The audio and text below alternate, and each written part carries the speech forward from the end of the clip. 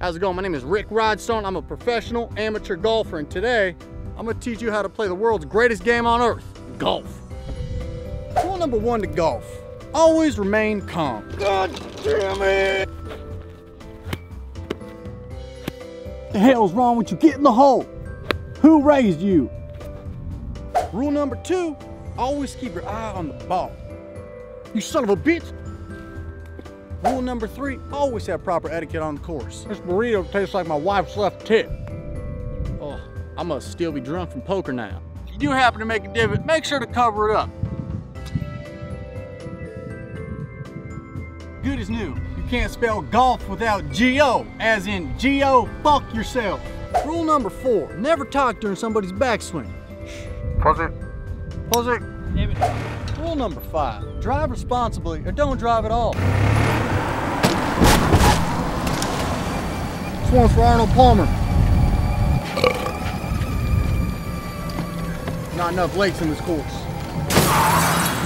Rule number six, if you're gonna drink, drink responsibly.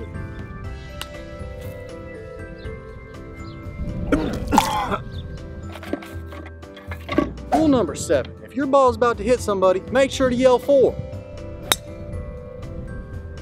Oh, whore!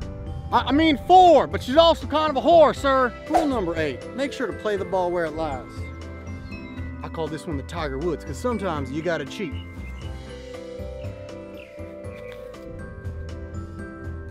You guys see that chip? I'm getting good, I'm telling you. I'm working out that forearm. It's getting good. Rule number nine, golf's a gentleman's sport, so always be honest when you fill out your scorecard. And last of all, rule number 10, make sure to mark your ball with your name so you know which one is yours. Lil Dick Rick? Who the hell wrote this? My dick's not little. In February, sometimes, Rick's pro tip, if you don't make it past the red tees over yonder off the tee, you gotta run past them naked. You see, I am not Lil Dick Rick after all.